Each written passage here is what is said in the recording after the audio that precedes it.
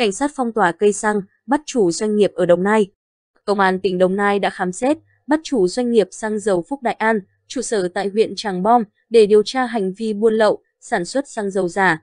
Ngày 19 tháng 5, Công an tỉnh Đồng Nai bắt tạm giam Bùi Ngọc Toàn, chủ doanh nghiệp kinh doanh xăng dầu Phúc Đại An để điều tra về hành vi buôn lậu, sản xuất xăng dầu giả.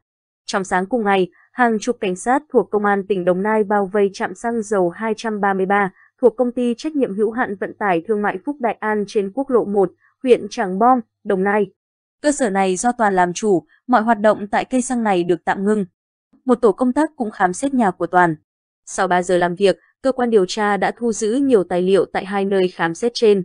Ngày 18 tháng 5, Công an Đồng Nai cũng bắt tạm giam bà Nguyễn Thị Như Mỹ, 53 tuổi, giám đốc công ty trách nhiệm hữu hạn Việt Khánh An, cùng về hành vi này.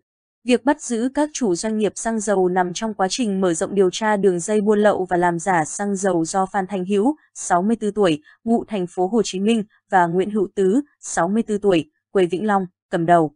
Như vậy, đến ngày 19 tháng 5, quá trình đấu tranh mở rộng chuyên án 920G, Công an tỉnh Đồng Nai đã khởi tố, bắt tạm giam 60 bị can. Công an Đồng Nai đang tiếp tục mở rộng điều tra để xử lý các đối tượng liên quan theo quy định pháp luật.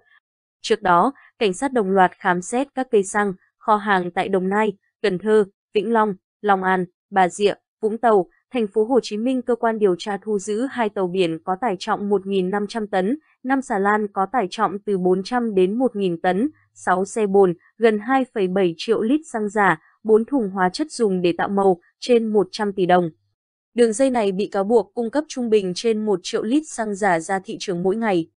Từ tháng 8 năm 2020 đến khi bị phát hiện, 200 triệu lít xăng giả đã được nhóm nghi phạm cung cấp ra thị trường.